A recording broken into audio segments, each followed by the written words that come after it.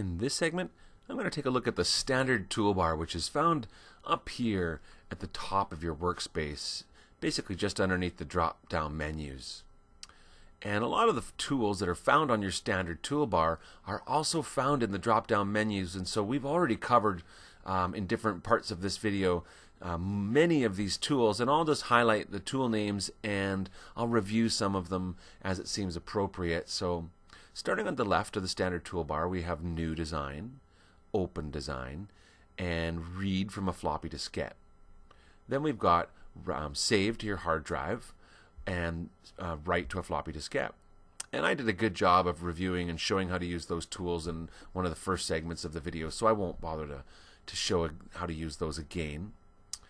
Uh, the next tool we have is the print option, and basically this is how you're going to print your run sheets. It'll take you to the print preview options, and you can decide how you want to view your design and print it out. Now next to that, we've got the cut, copy, and paste. And you'll notice that cut and copy are gray right now. And whenever something's gray in a design, it basically means, or in your embroidery software, it means that you'll need to do something first before you can use that tool. And in this case, I can't use the cut or copy tool until I first select an object in the design and I would need to use the select tool. So I'll just make sure I have my select tool turned on and I can either click to select an object um, or I could drag a box to select what would be you know multiple objects. Now that I've got all of this um, scroll work on the right selected, you'll notice now that the cut and the copy features are also available. And so, for example, if I choose cut, it'll remove all of those objects from the design.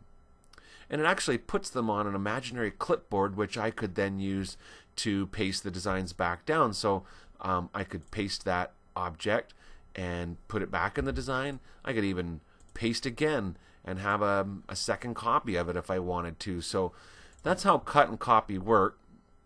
Cut basically removes something from the design. Copy makes a copy of it on your clipboard but does not remove it. And next to cut, copy, and paste, I have the undo and the redo buttons. And so, for example, if I use undo, it'll get rid of the um, it'll take, I guess I moved those objects. If I go undo again, it'll get rid of the second copy of those objects.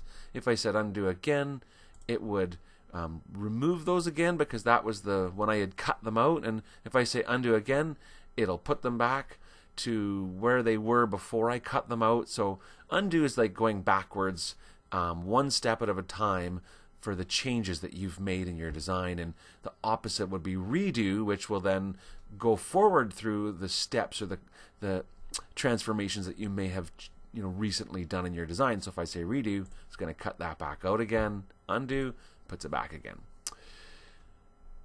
So now next to undo and redo, we have our zoom um, option. And basically this tells you you can go to a specific zoom size. So if I chose from the menu 200, it'll zoom in on my design at the ratio of 200, so basically twice as large as the actual embroidery. Um, and I could choose, for example, 100, and that'll take me to the actual size. And I also have my mouse uh, set up with a scroll a wheel in the middle of the mouse, and when I use my wheel, my artwork, my design will scroll in and out. So if I scroll up, it goes in. If I scroll out, it comes back. But that doesn't tell me a specific percentage. I don't always know exactly what relate, um, size I'm looking at my actual size of my embroidery. So that's what this is for. You can find out what's it look like at a, actually look at at 100% or whatever. So now next to the zoom um, option we have unselect, select all, and invert selection tool. And so, um, just as an example, um, if I choose select all, everything in the design gets selected, all objects. If I choose unselect, it lets go. If I drag a box and select, for example, all of these objects in this right hand scroll, and then I choose the invert selection tool, it unselects the objects that I had selected and it selects all of the objects that were not selected. So selected. So that means um, it's a way of switching what you are selected becomes unselected and everything else becomes selected. So you can switch your selection. And I can click on it again to go backwards. So it, it's um, each time I click it it'll invert the selection. And if I just don't want to select I can use the unselect button. You can also by the way when you click on an object that will select it and if I just click on the empty desktop it will unselect it Okay, so next to the selecting tools, we have the show and hide tool. And again, they're currently grayed out. Um, so basically what that means is if I want to use them, I need to have something selected first. So I'll go ahead and drag a box and select this right-hand scroll. And so now you'll see the hide objects tool has become available. And if I choose that now, it hides all of the stitches and objects for that right hand scroll. They're not actually removed from the design. They're still part of the design. They're just hidden from our view. They're not selectable. They're not editable. Um, but if at any time I could click on the show button and it'll bring them back and shows all objects. So that can be really helpful when you're working on a design that has multiple layers and you're just trying to see um, something that has embroidery on top of it, you can simply select the areas that you don't want to see and hide them. Now next to that we have a bit of a traveling tool and so this for example will help you travel through the objects of a design and the options are to jump to the start of the design or go previous object or go previous stitch or we have go forward to the next stitch or go to the next object or go to the end of the design. So if I choose the beginning of the design, it automatically selects the very first object in this design. And if I choose the end design, it automatically selects the last object in the design. Um, I'll jump back to the beginning and then show that I could jump to the next object with these this arrow here. So it goes through and each time I click the option, it goes to the next object and to the next object and to the next object. So that's a way that you can easily see, uh, travel through your design to see what the order of the objects is in your design. And you can um, go backwards the same way by to the previous object, to the previous object, to the previous object. Now, the other two options in here um, relate to actually editing and selecting stitches and that's something we haven't really talked about in this video yet um, but we've reached the time where it's sort of time to start talking about that. So you'll notice I'm just going to um, divert for a moment and talk a little bit about the left hand toolbar which I'll be covering shortly in the video.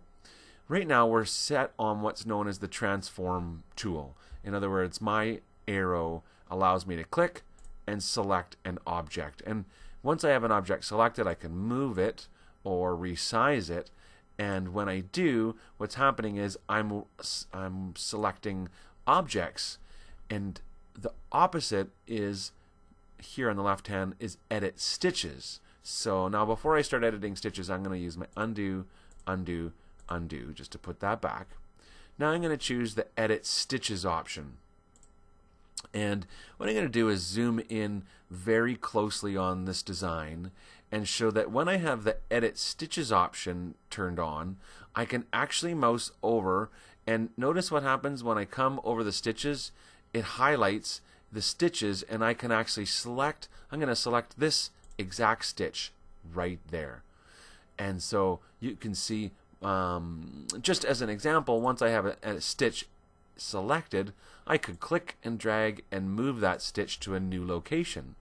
I can also insert stitches and delete stitches, and I'll talk a little bit more about that in a moment. But um, just to continue back along the standard toolbar, so I've selected a stitch now, and the option is go to the next stitch, go to the next stitch, go to the next stitch, or go to the previous stitch. So that's what this traveling toolbar is all about.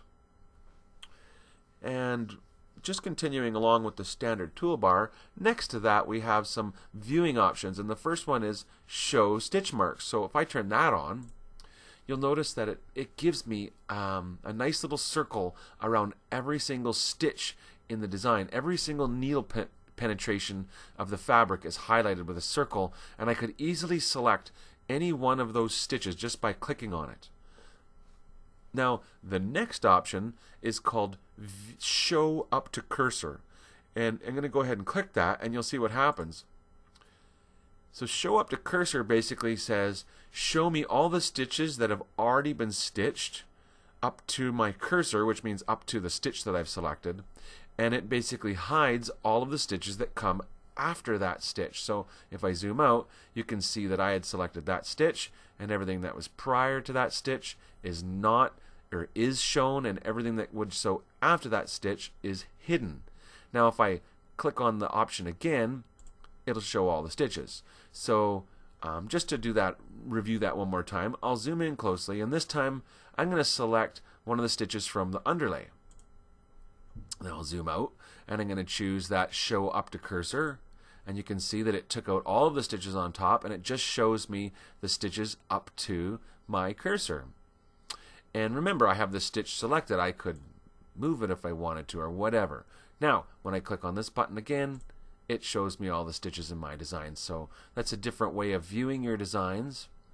So you got the show marks, show stitch marks, show up to cursor. Now the next one, show filled outlines, and this is going to be something that um, because I'm currently looking at a a JEF file that I had created, a stitch file that was from one of my um, workshops. I don't have any filled objects, and this is just stitches. So what that means is if I I'm just going to use the window drop down menu and go to the untitled design of the star that I'd been looking at previously. And perhaps what we'll do is just select the outline of that star and move it over.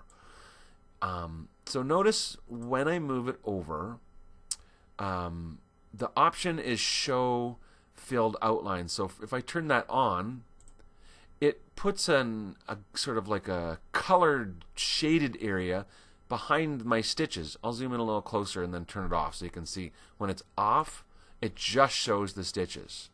When I turn it back on again, it shows the stitches, but it also shows a bit of a color to represent where the area that I filled in is. So that's what that's about. And I, we didn't see that when working on the butterfly design um, because these this was just a JEF file uh, that I didn't create using the Artistic Sewing Suite. There's no vector, um, you know, filled objects with colors like that. There's just stitches. So that's why we don't have this tool does nothing for us on this design. Now, um, next to those viewing tools, we have our slow redraw feature. And so maybe I'll just zoom out to look at the slow redraw. And um, I'll zoom in a little closer. So something like this. Now, if I choose slow redraw, it gives me, first of all, I have the speed option, and I have a slider that I can choose how fast do I want it to slow redraw. And then basically I have a start and a stop option. So if I say start, it starts sewing, and it actually started sewing right at the stitch that I had selected because we were in stitch editing mode. But if I zoom in on this, you can see that it's actually sewing my design. Now, I could slow that down to a very sort of slower you know, well, not that slow, 1200 stitches per second or like 1200 RPM.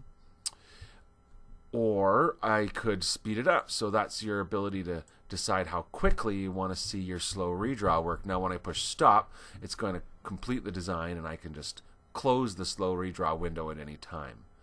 So that's your slow redraw option. And the last tool found on the standard toolbar is your design information. And when you open up this, your design information, you get the window that, in, that includes all of the things that are specific to this design.